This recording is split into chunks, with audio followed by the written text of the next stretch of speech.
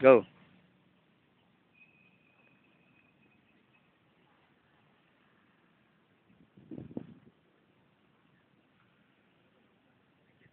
Bigger.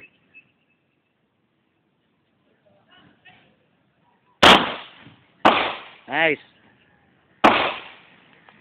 Ang galing take yung finger mo sa ganun.